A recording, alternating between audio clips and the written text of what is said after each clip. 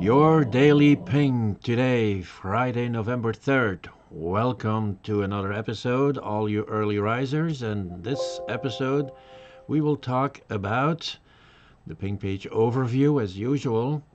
Explain today what is a blockchain. We will talk a little bit about blockchains. Prompting for beginners, we are pointing the attention to one of our first series, second uh, course, where we explain all about prompting. And we'll get into the details in just a minute. We will talk, or we will give you one of our own GPT Workdesk program tips. The state of the Bitcoin, we will quickly mention something about it and then we will complete it with what is proof of work, just very briefly, so it's a term that you've heard about.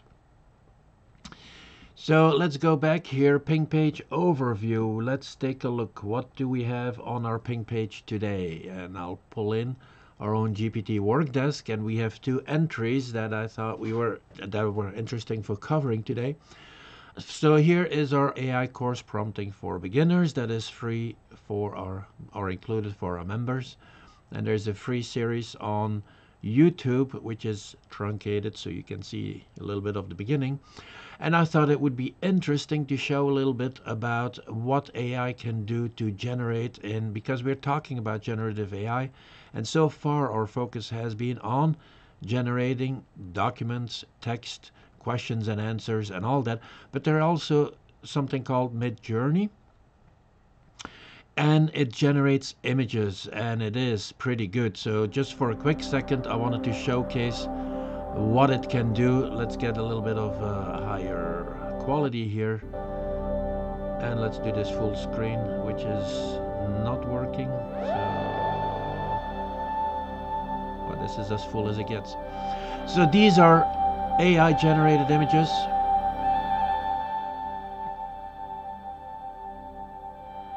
And they are generated by a prompt. So we have seen what prompts are. So prompt is a text input that you use to communicate to the AI model. And in this case, we were asking questions and we get answers back. But you can also use it to generate images. So here you see on the bottom, you see, yeah, you can see it. You see the text prompt that was used to generate the image. And the same can be done for generating audio, generating video. Audio and audio is pretty good. Video is still um, in its early stages. Everything is at its early stages, but even so, it is pretty. Look at this, how how photorealistic this can be.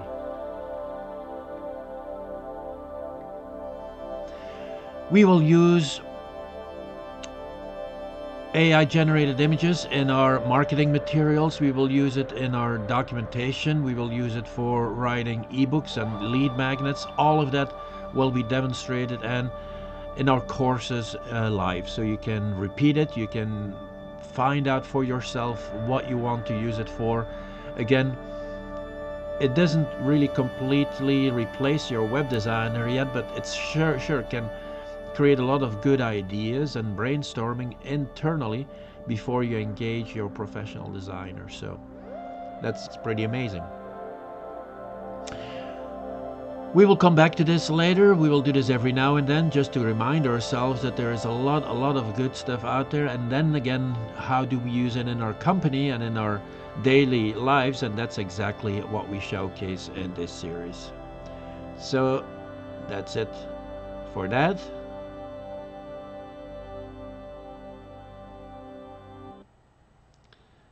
and we will close this and then let's see what we have here on our agenda. Next.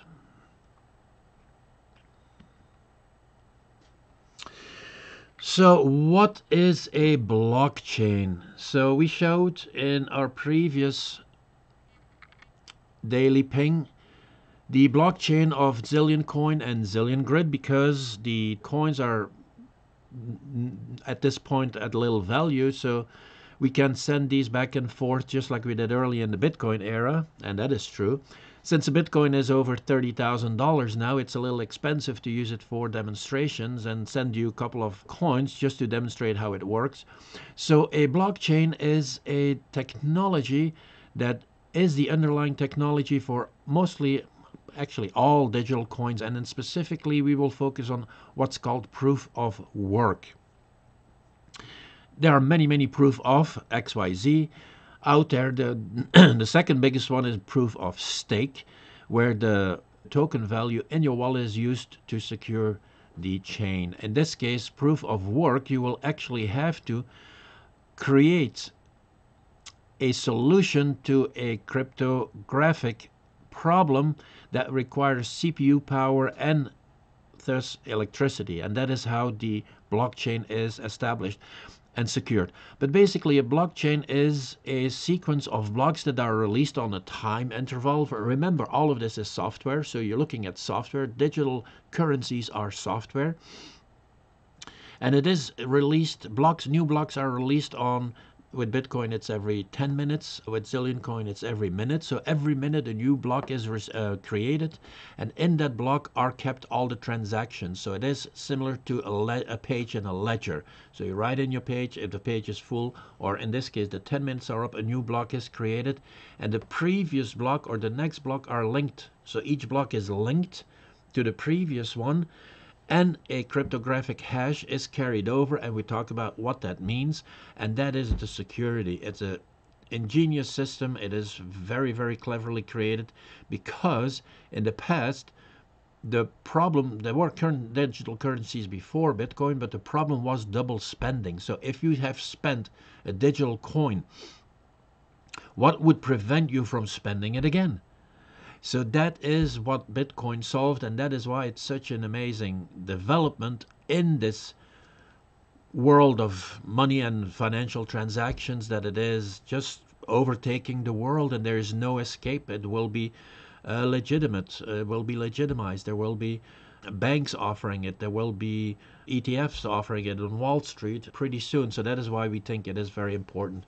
We come back to a blockchain in detail in our first blockchain course, which will be released very soon, and we'll mention it in this show when it is released so you can take a closer look. So, next we will talk about our series 1, course number 2. So, these are 30 minute courses that we create as the under the name Explain Today. So Explain Today is a series of very simple explanations. It has short videos, it has courses, it has workshops that teach you in 30 minutes one of the concepts that are very important to understand, whether it's in AI or whether it's in blockchain technologies. And I use blockchain technologies and digital currencies because that's what they are. So we name things by what they are technically and how you can use them in your company. So I'm mentioning this here so you know it exists and if you want you can go ahead and take that course for 30 minutes AI prompting for beginners. So we talked about getting results from an AI model, whether it's an LLM like a large language model like ChatGPT or whether it's an image generating model like Midjourney or DALL-E is the one that we will use, which is also part of OpenAI's developments.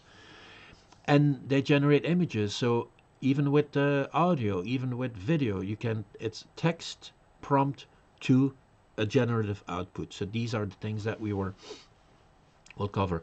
So in this course, we will have in course one, series one, course number two, what is a prompt? The importance of prompting, optimizing prompts, and then business considerations and then best practices. Because if you ask a generic question to an AI model, you will get a generic answer back.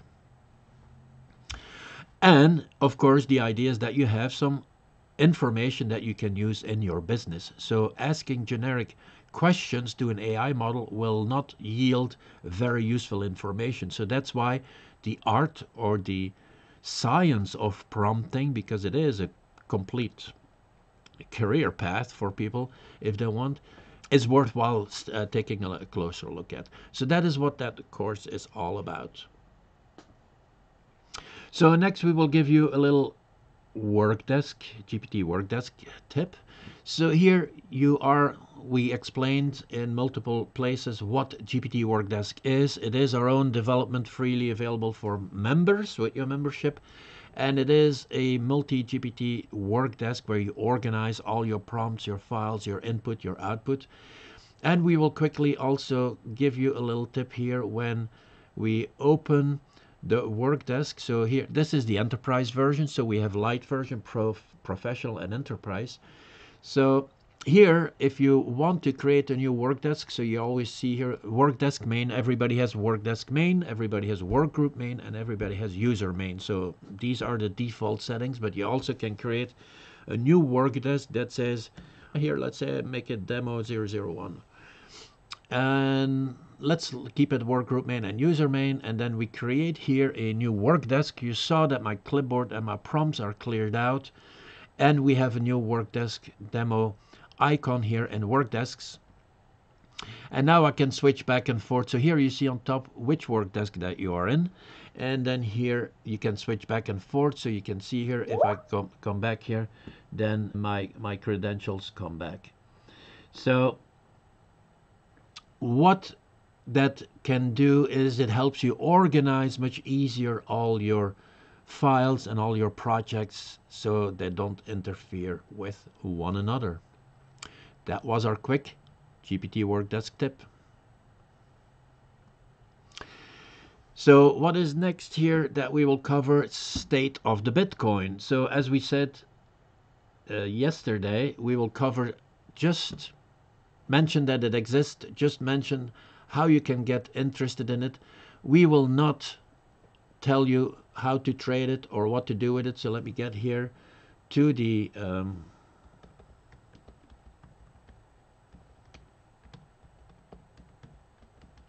coinmarketcap.com because that is what we use to take a look at what the crypto market is doing. And we went over this, so we're not going to revisit everything. But here you can see all the coins and their market notations. It's like Wall Street for digital currencies. And the fear and greed index is still at 72, which is pretty high, which means people are buying more than they are selling. And at this point, Bitcoin is at $34,580. That's about $900 less than yesterday. So what you can see here is it is highly volatile. And at this point, it's not that practical for, you know, a cup buying and selling a cup of coffee, but it is possible. Because we talked about satoshis which are dollar cents or bitcoin cents just like a dollar has cents bitcoin has also cents but instead of 100 cents to a dollar there are 100 million satoshis to the bitcoin. So i keep repeating it so we get all familiar with that. And then if we want to know the value of one dollar. How much how many satoshis do i need for one dollar? Then we simply go to sets for dollars.com and this is a good website and we have a problem here. Okay I know what it is never mind. Sets for dollars is where you can then see I think it's around 2,800 satoshis for a dollar. So if you want to be a satoshi millionaire you can buy 1 million satoshis for about $400 and just let it sit there as a type of savings so with the next bull run when um, Bitcoin is expected to make a new all-time high, and the previous all-time high was over $68,000 or $64,000. So that will, you know, is anticipated to double in price, but it might happen, it might not happen, anything can happen. It's a financial market. And then the last topic of today, we talked a little bit about blockchains in, in the beginning of this episode and then we talked about proof of work and proof of stake. So what is proof of work? Proof of work is a protocol that is used to maintain blockchains and that secures the blockchain when the activity of mining for coins, which is generating new coins by generating new blocks and whoever generates a new block gets the coin, the block reward. That's kind of how it works. And to make all that work on a technical level, there is something established that is called proof of work, where the miner who is securing the block by executing um, cryptographical calculations, which is very computer intense, so you use a lot of power, and that's where your cost is. And against that cost, the offset is if you get the block reward, you get a certain amount of coins that changes every four years. It's called the halving, H A L V I N G, halving, which is coming up and which coincides with a lot of price movements. And we will explain more of that in our course on blockchain for beginners. And at this point, all we wanted to do is get make you familiar with the fact that there is such a thing as a blockchain and there is such a thing as proof of work that secures the blockchain. That's it for today. I hope to see you tomorrow. Thank you for watching.